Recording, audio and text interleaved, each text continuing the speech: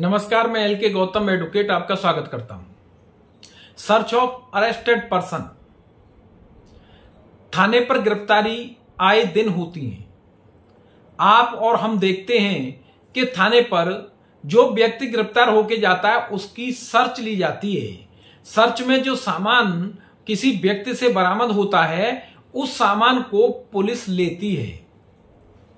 लेकिन दुविधा इस बात की है अगर बीस हज़ार रुपया किसी व्यक्ति से सर्च में मिले हैं, तब दो हज़ार ही दिखाई जाते हैं।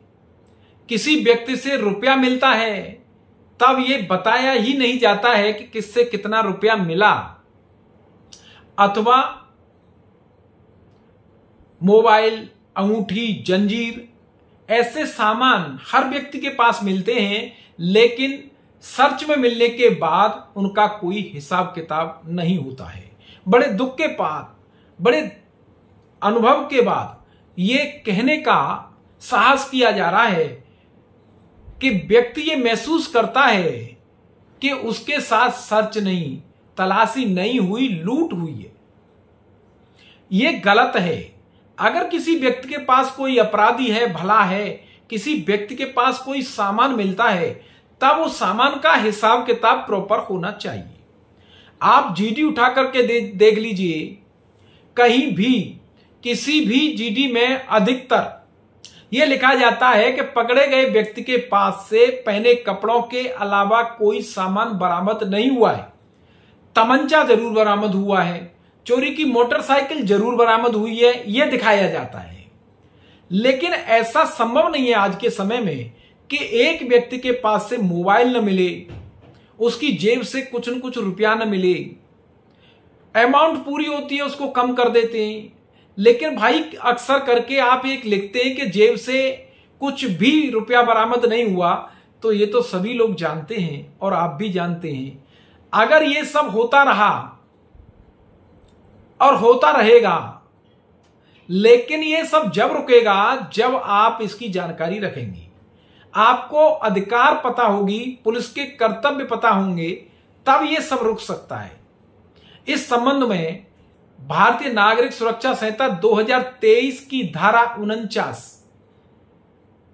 ये कहती है कि सर्च कैसे ली जाए, सर्च कब ली जाए, सर्च में मिले सामान का आप सेफ़ कस्टडी में रखें और सामान को अपने कब्जे में ले रहे हैं।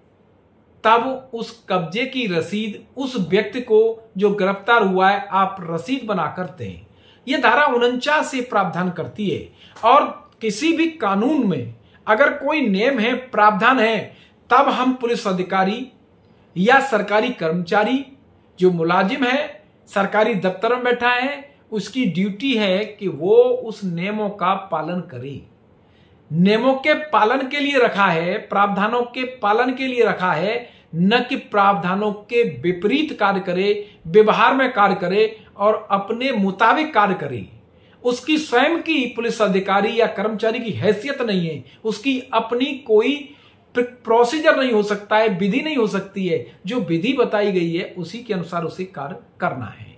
तो साथियों, धारा उनचास उपधारा एक के संबंध में यह प्रावधान है कि जब कभी कोई पुलिस अधिकारी वारंट पर किसी व्यक्ति को गिरफ़्तार करता है और ऐसा वारंट पर जमानत लिए जाने का प्रावधान नहीं है, यानी एनबीडब्ल्यू पर गिरफ़्तार करता है, या वारंट के अधीन गिरफ़्तार करता है और वारंट जमानत लिए जाने का प्रावधान करता है, यानी बीडब्ल्यू वारंट है, और उस वारंट के अनुसार गिरफ़्तार व्यक्ति को जमानत दे देनी है, लेकिन वो जमानत देने में असमर्थ है। ऐसा व्यक्ति है। सेकंड ऐसा पुलिस अधिकारी वारंट के बिना गिरफ़्तार करता है, या किसी प्राइवेट व्यक्ति द्वारा गिरफ़्तार किया गया व्यक्ति वारंट के अधीन गिरफ़्तार किया गया है और वारंट जमानत लेने का प्रावधान नहीं करता है, यानी एनबीडब्ल्यू है, या प्राइवेट व्यक्ति द्वारा गिरफ़्तार किया गया व्यक्ति वारंट पर गिरफ़्तार किया गया है और वो वारंट जमानत लिए जाने का उपबंध करता है, लेकिन जमानत देने में वो असमर्थ है।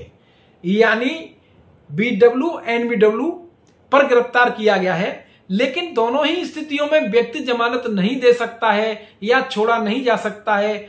आप ये समझिए कि ऐसे व्यक्ति को न्यायालय के समक्ष भेजा जाना है। ऐसा दोनों परिस्थितियों में है, तब उस प्रश्न का स्पष्ट उत्तर यह है कि ऐसा व्यक्ति कब तलाशी लिए जाने के अधीन है। तो ऐसा व्यक्ति जिसे न्यायालय के सामने भेजा जाना है, तलाशी लिए जाने के अधीन है, ऐसे व्यक्ति की तलाशी वो पुलिस अधिकारी या प्राइवेट व्यक्ति द्वारा अरेस्ट किया गया है और उस अधिकारी के सामने पेश किया गया है। वो अधिकारी जिसकी अभिरक्षा में व्यक्ति है, उस व्यक्ति का जो गिरफ़्तार हुआ है, तलाशी लेगा। और तलाशी में पहने हुए कपड़ों के अलावा जो भी वस्त्र जो हैं, पहन रखे उन्हें छोड़ देगा। और उस व्यक्ति के शरीर से जो सामान मिला है, उस सामान को अपनी अवरक्षा में लेगा। और सेफ़ कस्टडी में रखेगा।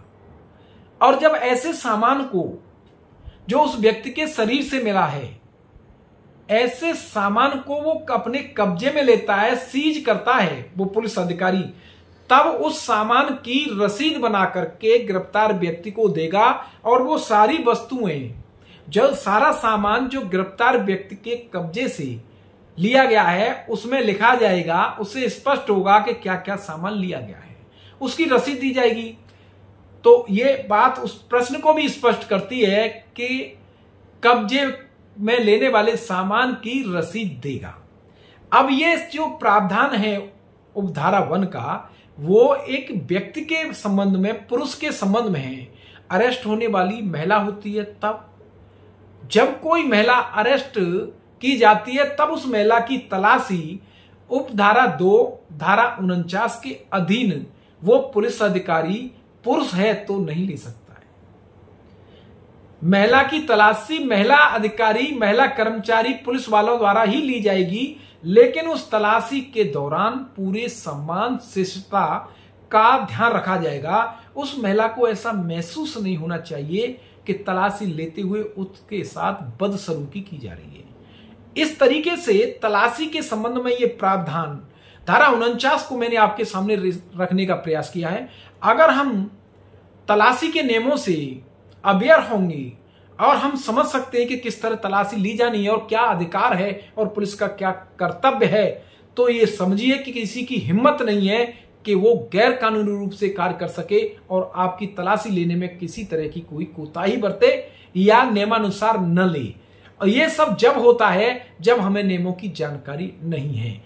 मैंने आपके सामने धारा उनचास को रखने का प्रयास किया है। प्लीज़ कमेंट बॉक्स में आप अपनी राय अवश्य लिखें और मेरे YouTube channel legal Rai trend procedure को सब्सक्राइब शेयर अवश्य करें। अधिक कानूनी जानकारी के लिए आप मेरी वेबसाइट www.lkgautam.com को भी आप देख सकते हैं। बहुत बहुत धन्यवाद।